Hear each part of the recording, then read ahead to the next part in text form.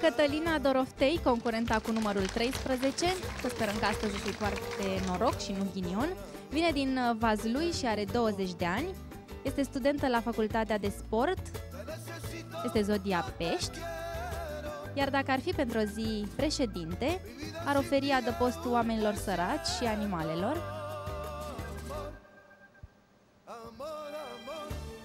Peste 10 ani se vede administrator a unei săli de fitness, iar ca motivație ne-a spus ea, pentru a face și ea sport.